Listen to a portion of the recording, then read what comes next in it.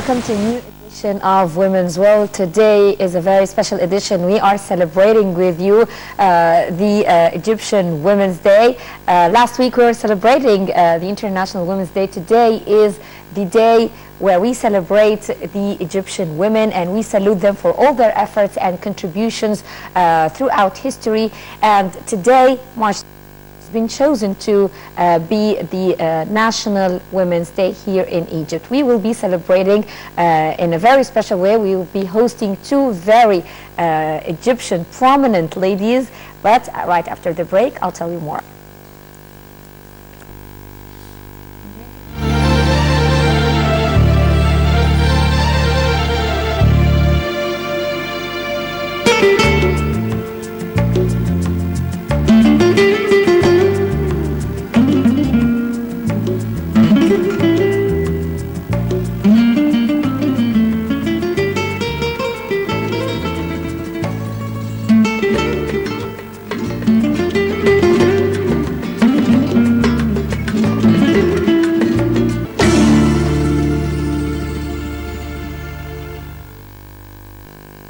Welcome back. As I mentioned earlier, today is going to be a very special edition of the program. We will be hosting here in the studio two very Egyptian, uh, two very prominent Egyptian ladies. They have contributions here in Egypt and worldwide, of course. We will be hosting Dr. Mona Zaki, Professor of Business at the American University in Cairo, and uh, she is also strategic thinking and international marketing expert.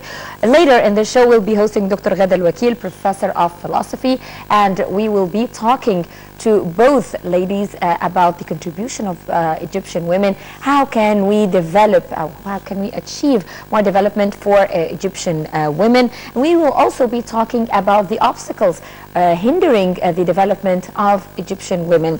This, of course, and much more, we'll be also having special reports. We'll have a special report regarding the Egyptian Women's Day, and we will also have a look at the press and select some interesting news for women right after the break.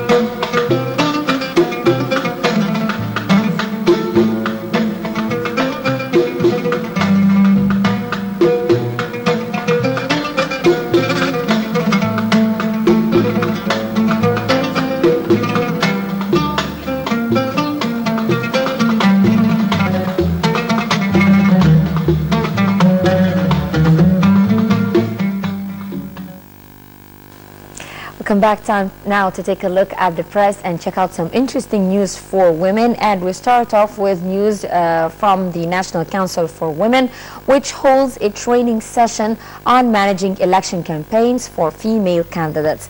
The NCW organized a workshop and training program in Cairo entitled Management of Election Campaigns for Female Candidates in Parliamentary Elections. Participants stressed the importance of giving women equal chances as men in the running for parliamentary seats. And we move on. Ambassador Mona Omar, Secretary General of the National Council for Women, said that political rights of Egyptian women still not fully regained. Ambassador Omar was speaking at the inauguration of the training program Management of Election Campaigns for Female Candidates in Parliamentary Elections. She said that women representation in decision-making posts around the world is still far short of ambitions. National forces hold events to honor Palestinian women on the International Women's Day. A number of political and national bodies celebrated the event, lauding the sacrifices by Palestinian women.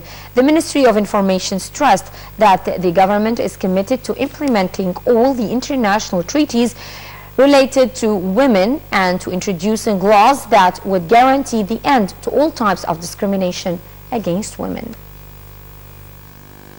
And on International Women's Day, women are up for the competition. Uh, this is a movement in Tunisia that honors female media personnel and activates the Amna or Safe Forum. The movement held a conference over women's image in the media and means of boosting the role of women in transitional societies. Moving on to Iraq, where the Iraqi Institute celebrates Women's Day. The Iraqi Institute organized a celebration attended by senior officials, including the Prime Minister's counselor and representatives of NGOs to mark Women's Day. During the gathering, the role of Iraqi women in the social, political and cultural fields was hailed.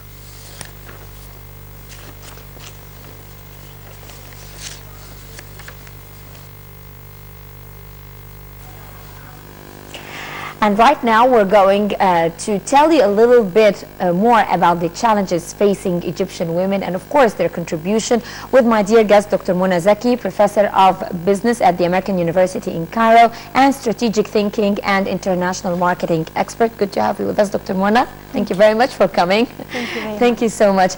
Uh, now uh, as um, um, Strategic Thinking and International Marketing Expert, how do you see the current status of women?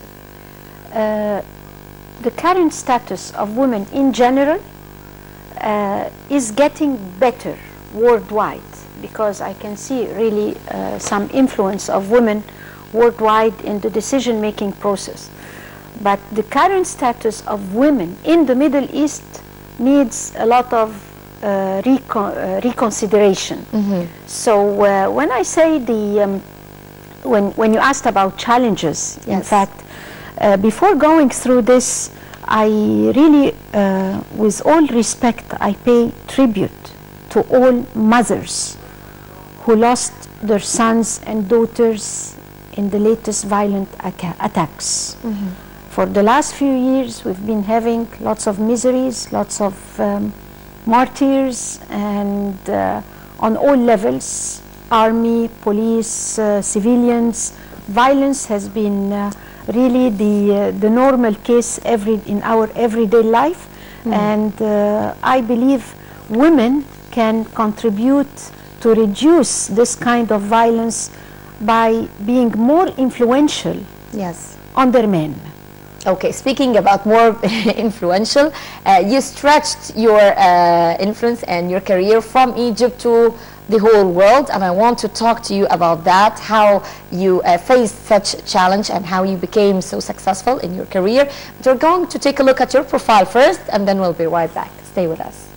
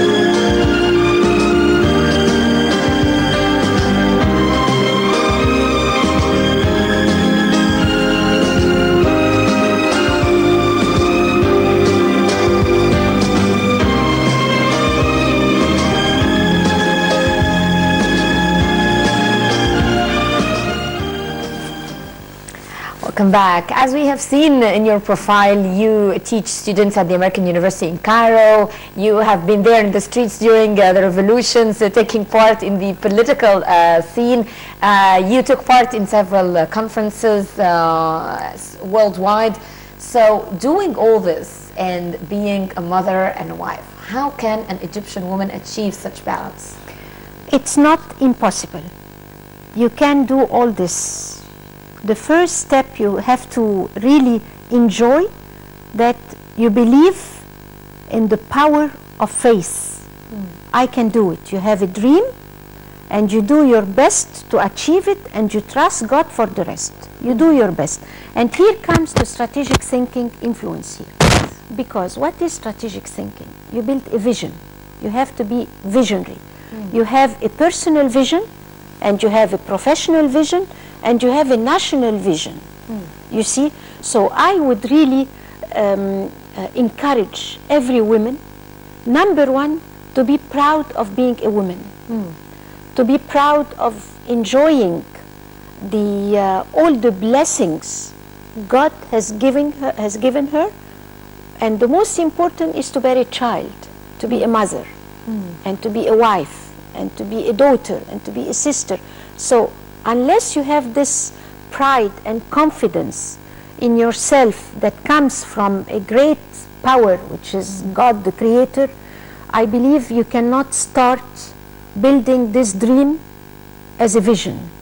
So, as a personal vision, I had this since I was uh, a, a, an undergraduate student. Mm. I had the vision on a personal level. I want to have a family, I want to have uh, my children, I want to have a husband, I want to have a, a private, uh, uh, nice family life. Mm. Professional vision, I wanted to proceed with my career as a professor. I wanted to be useful in the society. I want to be, uh, to achieve a special uh, standard of professionalism. It wasn't easy. Of Nothing course. is easy. And on a national level, I wanted to add value to my country. Mm. I want to present my country internationally without, all, uh, without being well equipped mm. on a personal and professional level, you cannot go on international level. And this builds a strategy. Mm. So the strategy is you invest in yourself. You invest in your family. And the key word is integration and time management. I don't believe at all in separating your personal life from your professional life, from your uh, actual life from uh, your international life because it, you cannot live five lives at the same time. Mm. But if you integrate all this, while I was studying for my master's and my doctorate degree, I had my children studying with me, you know, for their own uh, homework and uh, all the assignments. While I was uh, building my, and investing, bringing up my children, investing in them in sports, in studies, I was doing my own sports as well, investing in my own health, mm. not only in their health. Mm. While I was helping my husband in his career, artistic career, and all what he was doing uh, in his life, I was building myself as well in studying very hard. So, what the problem with many Egyptian women, um, what, what they do once they get married, Mm. They build the husband, they build the children, and they forget and they go themselves. on, on, on, mm. and they stay where they are. Yes. So they keep building, building, and they are where they are. So the gap increases, mm. and this is very dangerous because while building, you have to build yourself. While exactly. building others, build yourself. So you always be equal mm. and together on the same level of technology, on the same level of knowledge, on the same level of awareness and, and exposure to the world because the more you invest in yourself, the more confident you are, the more proud of yourself, and this, the more, um, the more you respect even yourself and your dignity, so you can be a better mother, you can be a better wife, you can be a better professional all over the world, and you can, you can compete professionally. You know, in many uh, international conferences I attend, I feel I'm, I'm really uh, uh, doing uh, uh, on an international level very, very easily. Mm. Why? Because of the investments uh, you have done in yourself. So you work hard on yourself while working hard on everybody surrounding you. Okay, let me take it from here. You, you're saying that on the international level it's much more easy. Is it because of uh, the support women get on the international level from uh, the people around them or the, the, the, this, this, the, the belief in themselves is perhaps stronger than that of Egyptian women? I believe that here in Egypt, a woman, in order to be successful, she needs huge support from her family, from her husband, and it's, it's, a, it's a huge challenge for her. But on the international level or in Western countries, it's perhaps easier because of the culture of Absolutely. paying more respect Yeah, but women. you know, in Egypt, I, I see many cases of successful Egyptian women doing great, but when I see their husbands, they are great husbands. exactly. I believe that the greater the husband is, the greater the wife is. of course. So, uh, and the more self-confident the husband is, the more giving the husband and the more tender and the more loving and the more caring for the wife to grow because he, he is self-confident. He doesn't have any inferiority complex. He doesn't have any problems by having his wife smart, professional, successful. And I've seen many cases in Egypt, honestly speaking. I pay tribute to so many uh, wonderful husbands who helped their wives to be great ladies, including uh, Minister Mirvat Tilawi, uh, Dr. Mushira Khattab, Minister Faiza Bunnaga, Coun- uh, uh, Chancellor uh, Tehani Gibali. You have great ladies who have done great jobs and who have contributed a lot for, uh, uh, for the country, whose husbands are wonderful men. This, unfortunately, is not a majority, it's a minority. However, in the Western world, this is the majority. You see, because of, of course, the, the law gives a lot to human rights, uh, to women's rights, because of the culture. Uh, uh, you know, they always tell you. Uh, I, I deal with many, for example, But many we have foreign. laws here, Dr. Mona. Do you think that the laws are not enough, or is it the problem of implementing these laws? it's everything together. And I totally agree with uh, Minister Mervat Tilawi. You know, she played a great role for women in the consti- current constitution. So hopefully we see some reinforcement of the, those uh, constitution uh, supporting women's rights. So well. see, I hope. But it's also a culture. And it's rooted in the culture. It's, of course, uh, religion uh, makes also a big difference here, and different religions, and the more tolerant people are, the more uh, you know tolerant for women to take more um, aggressive place in the decision making. And I really hope that one day the decision making will be equal. I always say, women and men are equal, Yes. but different. I This- don't want this to is be what a man. I want to ask you I don't want to be a man. I'm Why- very proud why- to be a woman. Despite the the uh, the uh, the uh, the efficiency of so many Egyptian uh, women, uh, they are very smart. They are very Yeah. uh, competent. They uh, they uh, they have huge potential. Yet we don't see them in decision-making positions. Why is this that? is a problem because it's a cultural problem. Uh, it's a huge cultural problem. Religion has an aspect in it. Um, uh, it's uh, it's an that? attitude. It takes time. It takes. We need more women. We need more women to give some confidence to more men. You know that we're not competing with men. Women are not competing with men. Women are trying. It's it's it's a partnership. It's not a competition. It's a partnership, hand in hand. Especially that statistics show that more working working women now support their families than men. So uh, we we need to accept this reality. So what we need to do is to show uh, media-wise. Media has a great role. You see, visionary people. You need more men to support more women, like Qasim Amin, for example. We need more more men to support the role of women and the importance of. And don't take women light. Women can change nations. Wo- women are the mothers, and I always go back to this famous saying: "الأم مدرسة إن أعددتها أعددت شعبا طيب الأخلاق." Mothers are like are schools if you give her all the uh, uh, if, we, if you equip her, you can equip a whole nation of good ethics and manners. You see? So we need, and this, social investment this is that very needs important. This I is very important also to differentiate, and, and there is a very thin line between loving and spoiling. Yes. Love your children, bring up your sons and your daughters equally, but please don't spoil them. Yes. Discipline is extremely needed here. If, if the son makes a mistake, he has to be uh, accountable for this. If the daughter, the same. Don't make a difference in the bringing up between uh, son and girls, uh, sons and daughters. The daughters go to the kitchen, the sons go and no. This is this is not feasible anymore. This is dangerous. Equality is needed this in is, the bringing up. this is up. presenting wrong conception about responsibility.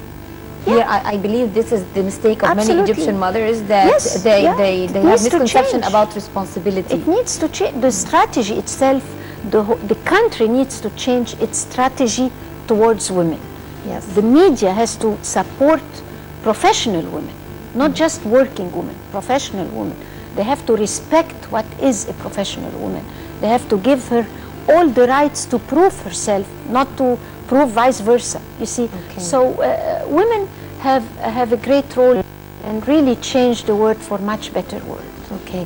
As I was reading the, the press, uh, the news, you were here with me in the studio, and there was a news item uh, that uh, the National Council for Women is holding training Very good news. sessions Very good uh, to, for managing election campaigns for female candidates. So do you expect in the upcoming period that we will see more female candidates running uh, for uh, the, uh, let's say, the parliamentary elections? I Yes. don't expect that this in the presidential elections. I don't know why, uh, but I believe in the, they are preparing themselves for the parliamentary elections. I do expect good number of professional women being part of the parliament. I do expect this. And I'm sure because this will make a huge difference in the future of Egypt.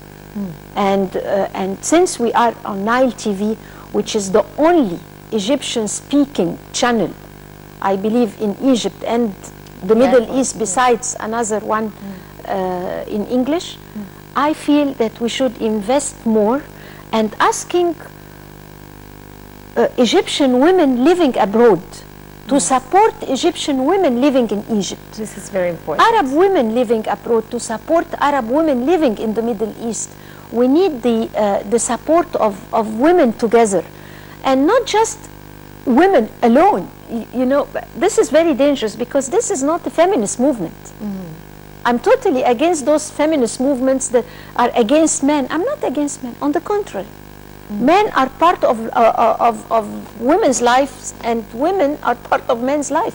We cannot live without each other. We complete each other. Exactly. We are in a great partnership, so if we build together and have these forces joined, I believe we can do miracles and we will have really uh, uh, great results. So uh, this is really, I, I take this, I seize this opportunity to ask men and women hmm, from Egypt and from the Middle East and from the world watching the Nile, Nile TV, which is uh, mainly watched by uh, li- people living uh, abroad, yes. to support this attitude, to support the attitude that we are raising up now Egypt. Egypt is going into a new era.